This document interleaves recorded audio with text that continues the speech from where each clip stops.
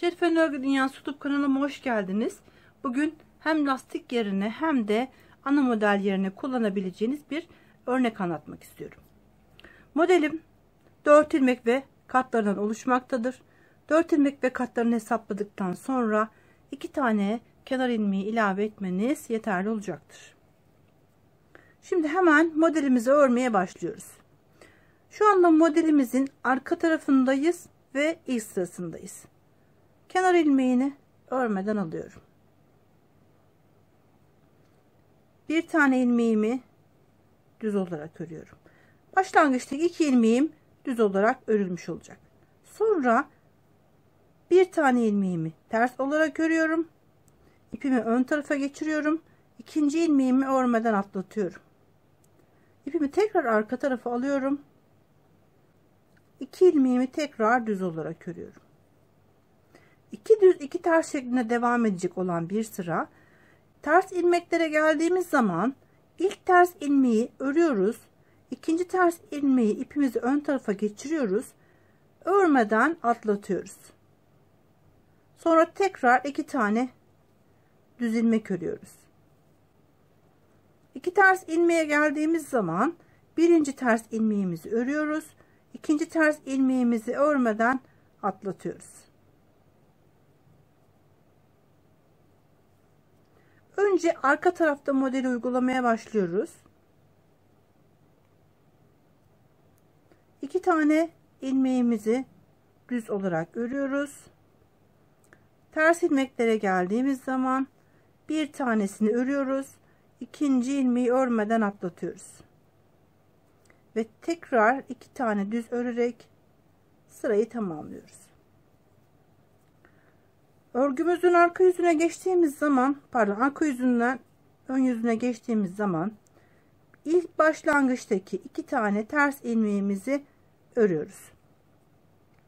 Düz ilmeklere geldiğimiz zaman bu iki düz ilmeği birlikte toplar gibi örüyoruz ve şişimizi çıkartıyoruz. Sonra ilk ilmeğimize bir kez daha şişimize takıyoruz ve bu ilmeği bir kez daha düz olarak örüyoruz. Sonraki iki ilmeğimizi ters olarak örüyoruz. Düz ilmeklere geldiğimiz zaman bu düz ilmeğin bir tanesini arka yüzde ördük. Diğerini örmeden atladık. Bu iki ilmeği birlikte toplar gibi düz olarak örüyoruz ve bırakıyoruz. Bu iki ilmeğin bakın bu ikincisi bu birincisi. Birinci ilmeği şişimize bir kez daha takıyoruz ve bir kez daha düz olarak örüyoruz. Bu şekilde hiçbir şekilde eksilmiş ilmeğimiz olmuyor ve salaş görünümlü açılmış bir ilmek elde etmiş oluyoruz. İki tane ters ilmeğimizi örüyoruz. Düz ilmeğimizin ikisini birlikte toplayarak örüyoruz. Daha sonra ilk ilmeği bir kez daha şişimize takıyoruz ve düz olarak örüyoruz.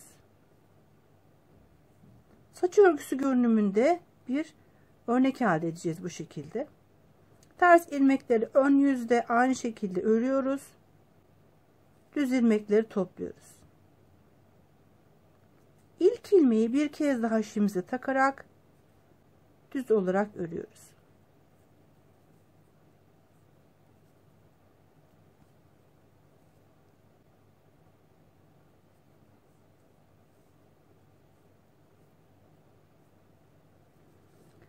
Ön yüzde sıramızı tamamladık. Arka yüze geçtiğimiz zaman aynı ilk başlangıçtaki işlemleri burada tekrarlıyoruz. Başlangıçtaki iki tane ilmeğimizi düz olarak örüyoruz. İki ters ilmeğe geldiğimiz zaman ilkini ters olarak örüyoruz. İkincisini örmeden atlatıyoruz. İki aradaki düz ilmeğimizi aynı şekilde örüyoruz. İki ters ilmeğe gelince ilkini ters örüyoruz. İkincini aynı örecekmiş gibi ipimizi şişimizin üzerine atıyoruz ve örmeden atlatıyoruz. Arka yüzde yapılışı bu şekilde. Ön yüzde de dediğim gibi tek bir şekilde yapılışı var.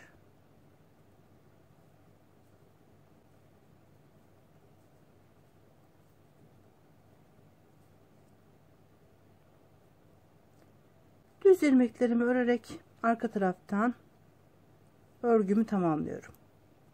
Ön yüzden birlikte bir kez daha görelim nasıl yapıldığını. Ters ilmeklerimizi ön yüzde aynen oldukları gibi örüyoruz.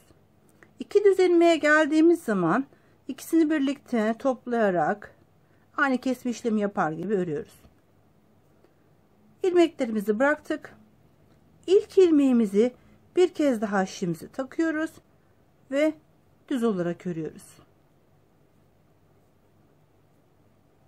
Ters ilmekleri aynen ördüm.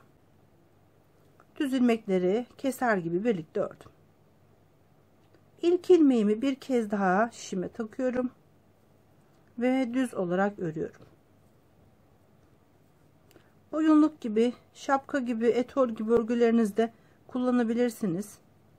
Ya da lastik yerine yazlık bluzlarınızda hırka yelek gibi örgülerinizde kullanabilirsiniz.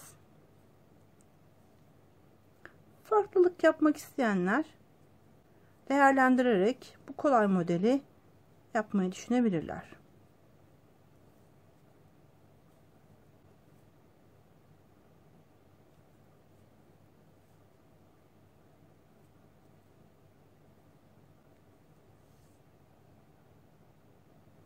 Kullandığım ipim oldukça ince ve 3,5 numara şişle ördüm.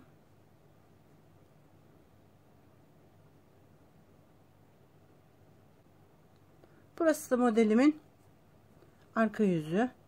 Arka tarafa baktığınız zaman iki ters iki düz görünümünde normal bir lastik olarak görünürken ön tarafına baktığınız zaman salaş saç örgüsü şeklinde bir örnek elde ediyoruz. Kanalıma abone olmayı, bildirim ziline tıklayarak aktif hale getirmeyi unutmayın.